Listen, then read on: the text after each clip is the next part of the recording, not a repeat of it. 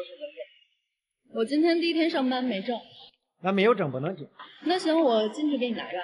你没有证件，我不能让你进。那你说我怎么你才能让我进去？有证就可以进。嗯。你不让我进去，我怎么给你拿证？那你没有证，我不能让你进。你这个人怎么一根筋啊？美女，这不是一根筋的事儿。哎，如果你没有证，我让你进去，那就是我的失职。行，我给你们领导打电话。可以。我跟你说，我听财务室的兄弟们说，最近有一个大领导要下来，得说是所有的部门。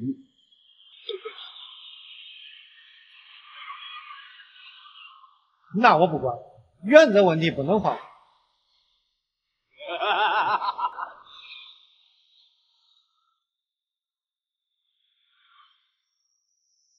哎，队长，门口是不是有个叫张扬的？哦，对，他很张扬。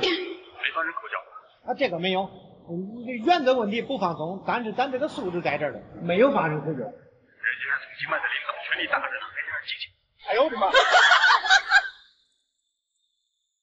你进去。现在可以进了。那我没有证。俺队长说能进。你换岗以后来我办公室。哎呦我的妈！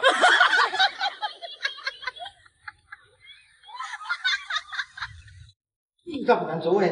你又没错，你怕啥？嗯。你你也走。报报告。领导，其实我想跟你说，你一点都不张扬。我知道你很生气。我不生气。你说你不生气，但是你说话的时候你咬牙了。嗯。我肚子疼。肚肚子疼，每个月都有那么几天。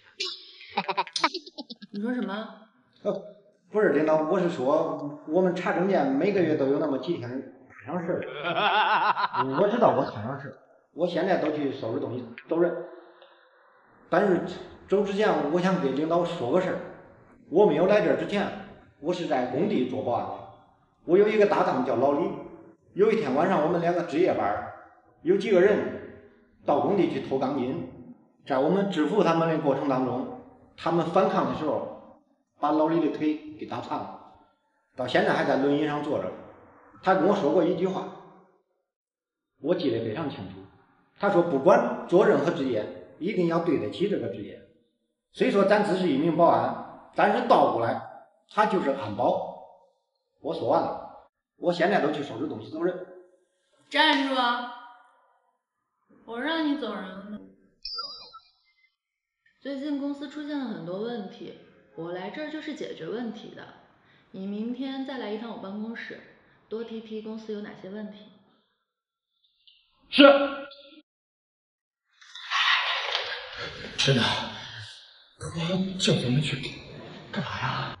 他说让咱去反映公司的问题，是是不是昨天你拦下来的那个人啊？对。他昨天叫你去办公室，没有处理你吗？没有，他说我做的对。那完了。咋完了？我在人情世故这方面，是不是比你懂？嗯。这领导啊，往往是表面一套，背后一套啊。这是，这是要变相的。开除咱们吧？不可能！等等，别慌了，我是咋从财务室下来的？我跟你不一样，站起来！你不要忘了咱们的身份，他是个保安。哎呀，你怎么那么狂躁呢？嗯，我不是狂躁啊，那领导让咱去反映公司的问题，咱就去反映问题。那反映问题是啥？你知道不？就是反映公司不好的情况。那公司不好，咱反映出来公司不好，公司才能更好。说公司不好，就说明咱们失职。哎呀，我跟你说不清楚。傻。领导好。领导好。坐吧。那是领导让咱坐的。有眼色没有啊？下来。没事儿，坐吧，别拘束。坐。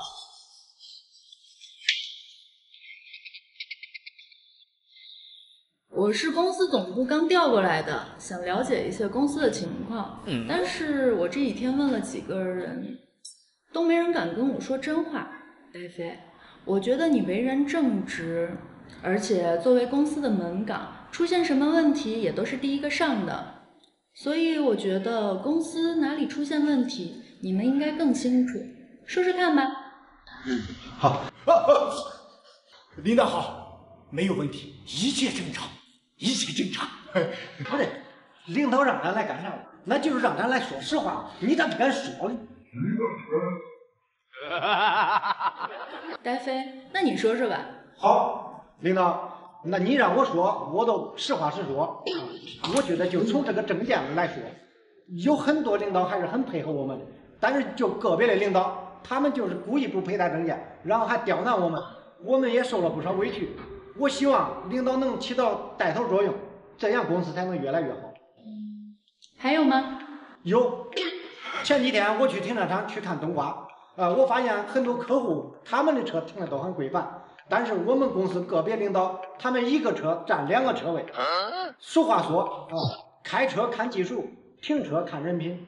我觉得这一点小细节，如果客户来到我们公司看到这一点，对公司影响很不好。很好。还有吗？有，能不能给我们加点工资？好，行了，我知道了，下去吧。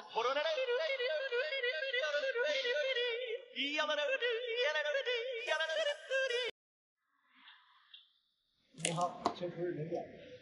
保安同志，我没有证件，我是来找小慧的。嗯。麻烦你通知一下好吗？俺大姐平时比较忙，你是？我是她大姨妈。啊。姨妈，你好，你稍等一下，我给你打电话通知一下啊。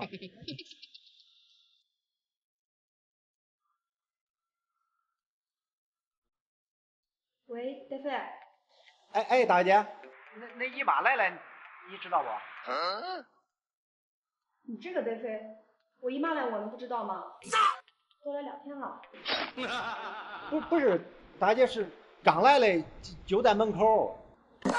哦。我把这事儿给忘了，你赶紧让他进来。哦，好，好，收到。姨妈，俺大姐就在办公室，你进去。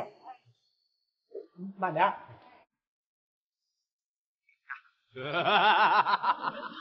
好，请出示证件。什么证件？我没有。那对不起，没有证件，我不能让你进。是新来的吧？我每次进公司都没有要证件，你居然跟我要证件。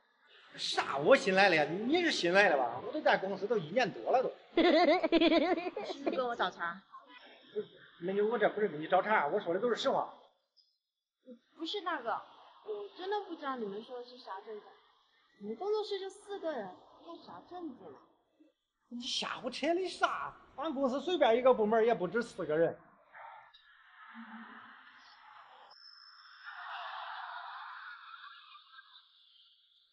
好意思，保安大哥，我一般地板。哎，你走错地板，没事，你赶快去上班去。哥哥，有个电话呗。你下班了。哎呦我的妈！